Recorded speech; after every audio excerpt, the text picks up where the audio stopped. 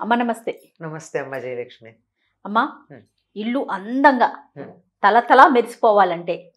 ఖర్చు లేకుండా. ఏమన్నా మంచి చిట్కాలు చెప్పండి అమ్మా. ఆ రోజుల్లో ఏం చేసేవారు? కాదు అందంగా ఉండడానికి ఖర్చుకి సంబంధం లేదు లేదా? లేదు ఓకే చక్కగా ఉండడానికి ఏం కావాలో అవి చెయ్యాలి కానీ ఖరీదైనటువంటి వస్తువులు కొని తెచ్చి ఇంట్లో పెట్టినంత మాత్రాన అందం వస్తుందా?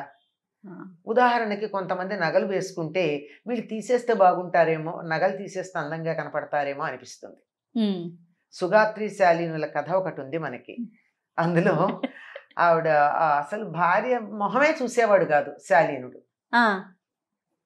చివరికి ఏం చేయాలంటే అంతకాలం అల్లుడిని కూతురుని సరిగ్గా చూడటం లేదని చెప్పి పొలం పనులకు పంపించారు. పొలం పనులు చేసుకోమని. ఎక్కువ కాలం అత్తవారింట్లో ఉంటే ఏముంటుంది మర్యాద? అంతే కదా?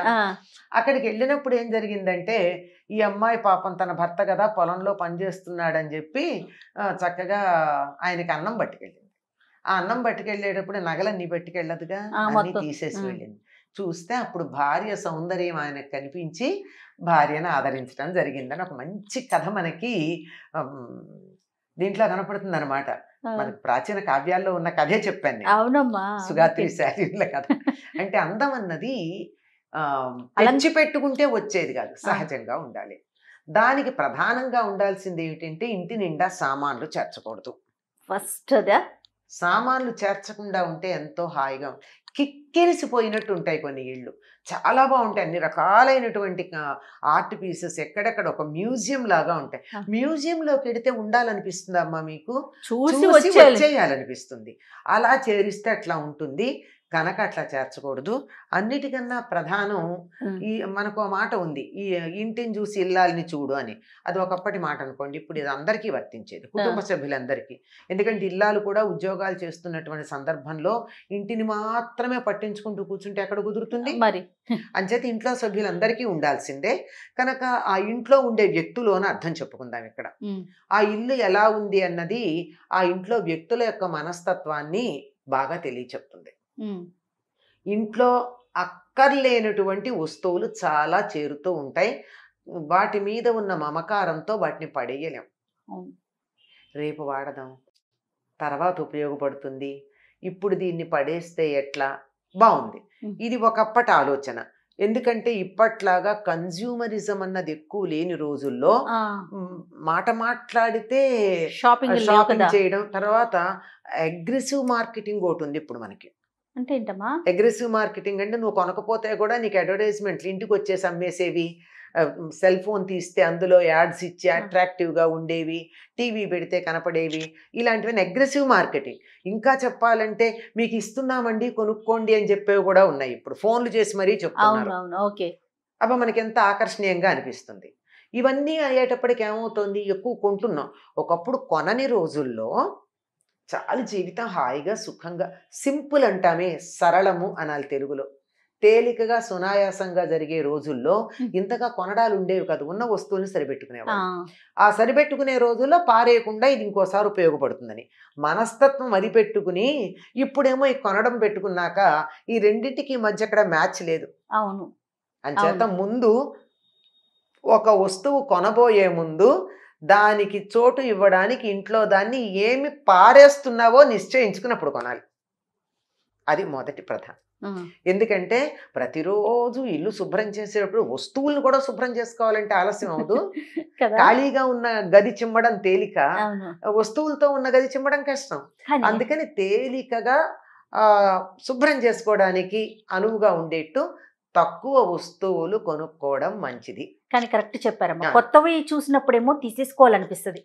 అబ్బా ఇది ఉంటే బాగుండు అది ఉంటే బాగుండు అనిపిస్తుంది కానీ ఇంట్లో ఉన్న మన పాతవి మాత్రం అలానే మీరు అసలు ఖచ్చితంగా కరెక్ట్గా చెప్పారమ్మా అలానే వాటిని పూజ చేసుకుంటూ ఉంటాం. వీటిని ఎవరికి ఇవ్వలేము వాటిని మాత్రం కొనేసుకుంటూ కొని- ఉంటాం. దాంతో ఇల్లు కిక్కిరిసిపోతాం. ఒక ఉక్కిరి బిక్కిరి అయిపోతున్నట్టు ఉంటుంది. ఏదో సఫకేషన్ అంటారే. కొన్ని చోట్ల కెడితే అలాంటి సఫకేషన్ ఉంటుంది. ఖాళీగా ఉన్న చోట చూడండి ఒకటో రెండో అందంగా పెట్టు అందం అంటే తర్వాత చెప్పుకుందాం. ఒకటో రెండో పెట్టిన చోట ఎంత హాయిగా ఉంటుంది? ఓకే. ముందు వస్తువులు క్లియర్ చేసుకోవటం. వస్తువు క్లియర్ చేయాలి. కొనబోయే ముందు దానికి ప్లేస్ ఉందా లేదా చూసి కొనాలి. కరెక్ట్ అమ్మా. ఇది కూడా చాలా వస్తువు నేను ఇక్కడ కొంటే ఎక్కడ పెడతాను? ముందు see the place and buy. Valid point ఇది. ఇది ఫైండ్ ప్లేస్ అండ్ బై. తెచ్చి ఎక్కడ పెట్టాలో తెలియకపోతే ఏం చేయాలి? అలా పెట్టేసుకుంటాం. కొన్ని వస్తువులు అట్లా ప్యాకెట్లు అలాగే ఉండిపోతాయి. లేదా ఒకదాని మీద ఒకటి పెట్టేస్తాం. అంచేత క్లమ్జీగా. క్లమ్జీగా ఉంటాయి. అంచేత వీలైనంత వరకు తీసేస్తూ ఉండడం కొత్తవి చేర్చకుండా ఉండడం. ఇది క్లెన్లీనెస్కి చాలా ఉపయోగపడుతుంది. శుభ్రంగా ఉండడానికి. ఇక అందంగా ఉండాలంటే దాన్ని అమర్ అమరికలో ఉంటుంది. దేని పక్కన ఏది పెడితే అందంగా ఉంటుంది. అన్నది. మరీ మనకి అంత ఖర్చు పెట్టదలుచుకోలేదు. అంటే లేక కాదు. కొంత ఉండి కూడా ఖర్చు పెట్టక్కర్లేదు. ఉన్నంత మాత్రాన ఖర్చు పెట్టాలనే నియమం లేదు. అంతేగా. ఉమ్, ఖర్చు పెట్టే వాళ్ళందరూ డబ్బున్న వాళ్ళు కాదు. ఖర్చు పెట్టని వాళ్ళందరూ డబ్బు లేని వాళ్ళు కాదు. ఇది ఒకటి గుర్తుపెట్టుకోవాలి ఓకే అమ్మా. అంటే డబ్బు యొక్క విలువ వస్తువు యొక్క విలువ తెలిసినటువంటి వాళ్ళు చేసే పని. చక్కగా అందంగా ఉండేటటువంటి ఇంట్లో మంచి ప్రాణవాయువు ఇచ్చే మొక్కల్ని పెట్టండి రెండు ఇంట్లో ఎంత అందంగా ఉంటాయో చూడండి. అవును. కొన్ని మొక్కలకి ప్రాణవాయువు ఇచ్చే లక్షణం ఉంది. ఒక ఐదో ఆరో చెప్తారు. ఇవి ఉంటే చాలండి. మీరు ఆక్సిజన్. సిలిండరే ఉంటుంది అనేదో స్పైడర్ ప్లాంట్ అట్లాంటివి కొన్ని ఉన్నాయి. వాటిల్లో ఏదైనా ఒకటో రెండో అందంగా ఉండేటట్టుగా ఒక అందమైన కుండీ కొనుక్కోండి. వేరే. వస్తువు ఎందుకు? అవి పెట్టడానికి మంచి మీ తాహతికి మీ స్థాయికి సరిపోయినటువంటి ప్లాస్టిక్దో లేదంటే పింగాణీదో దాని మీద నగిషీలు చెక్కిందో మీకు ఎంత విలువ ఉంటే డబ్బు ఉంటే దాన్ని బట్టి అటువంటిది ఒకటి కొని అందులో ఒక మామూలు కుండీలో పెట్టిన ఈ మొక్కని పెట్టుకోండి. ఎంత? ఇటు ప్రాణవాయువు ఉంటుంది అటు ఆహ్లాదంగానూ ఉంటుంది చెట్ల పక్కన ఉంటే బీపీ కూడా రాదంటారు.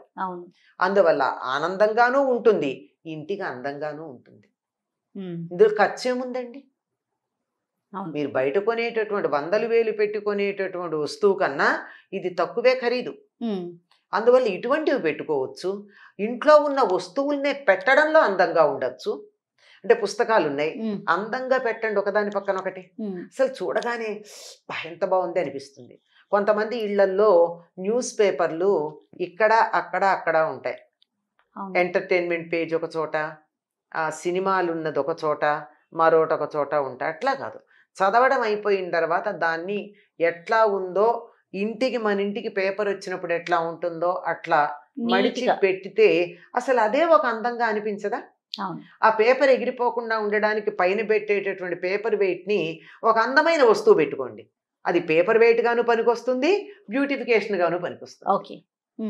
అంటే మనము వాడుకునే వస్తువులే కళాత్మకంగా ఉండే వాటిని పెట్టుకుంటే కళాత్మకంగా అలంకరించుకునేవి వేరు ఉపయోగపడేవి వేరు ఉండేవి కాదు ఉండవు.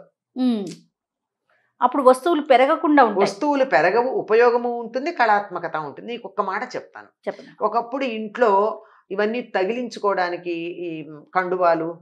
పంచ కండువాలే ఉండేవి కదా రోజు తగిలించుకునే కండువాలు అవే. అవి తగిలించుకోవడానికి ఉండే వస్తువుకి ఏం పేరమ్మా? చిలక్కొయ్య అని పేరు. చిలక్కొయ్యకి తగిలించారు. మీరు పాత పుస్తకాలు చదివితే కనపడుతుంది. చిలక్కొయ్య ఏమిటి? అంటే తగిలించుకునేటప్పుడేమో హ్యాంగర్ లాగా పనికొస్తుంది. ఆ వస్తువు తీసేస్తే చిలక బొమ్మ ఉంటుంది అక్కడ కొయ్యతో. ఓకే. అంటే ఇంట్లో నీకు అదేదన్నా తగిలించావా? హ్యాంగ్ హ్యాంగ్ చేయడానికి పనికొచ్చేది హోల్డర్ లాగా. లేదంటే చిలకలాగా ఉంటుంది. సూపర్. హంసల్లాగా నెమళ్ళల్లాగా చిలకల్లాగా ఉండేటటువంటివి ఇట్లాంటివి ఇలా పొడుగ్గా గోడ మీంచి యువతలకు వస్తూ ఉంటాయి. అట్లాంటివి పాతకాల పిల్లల్లో కనపడేవి. వస్తువు కావాలంటే దాన్ని తగిలిస్తారు. లేకపోయిందంటే తీసుకొచ్చేస్తారు. ఓకే. ఇప్పుడు అట్లాంటివి మనకి ఎక్కడ కనపడుతున్నాయంటే ఫ్రిడ్జ్ మీద తగిలించుకునే మ్యాగ్నెట్స్ కనపడుతున్నాయి. అంటే ఏదన్నా ఒక నోట్స్ రాసి పెట్టుకోవాలి టైమింగ్స్ అవి అంటే ఆ మ్యాగ్నెట్స్ చాలా అందంగా ఉంటాయి దాని కింద కాగితం పెట్టుకుంటాం తర్వాత. అట్లాంటిది అక్కడ ఉపయోగించింది ఏదైతే ఉందో మీరు ప్రతి చోట వాడచ్చమ్మా దీన్ని? తర్వాత ఇంకొక పద్ధతి కూడా ఉంది. ఇప్పుడు మీకు ఏదైనా పెయింటింగ్స్ అవి కొంతమందికి ఇష్టం ఉంటుంది ఫోటోలు. అట్లాంటివి కావాలంటే దానికి ప్రత్యేకమైన ఫ్రేమ్ ఒకటి ఉంటుంది. ఆ ఫ్రేమ్ ఏంటంటే నువ్వు ఇలా. మీట తీస్తే వస్తుంది. ఇప్పుడు ఫోటో ఫ్రేమ్లు మనకి ఇనప ఉండే ఫోటో ఫ్రేమ్లు టేబుల్ మీద పెట్టుకునేవి. కాదు. పెద్దవి గోడకి తగిలించేవి కూడా చెక్క ఉంటాయి. ఓకే. వారానికి ఒక బొమ్మ పెట్టుకోవచ్చు అందులో. ఫ్రేమ్ ఒకటే ఉంది. నీకు వంద ఫోటోలు పెట్టుకోవాలని కోరుకుంది. ఇల్లు చిన్నది. ఏం చేస్తావు?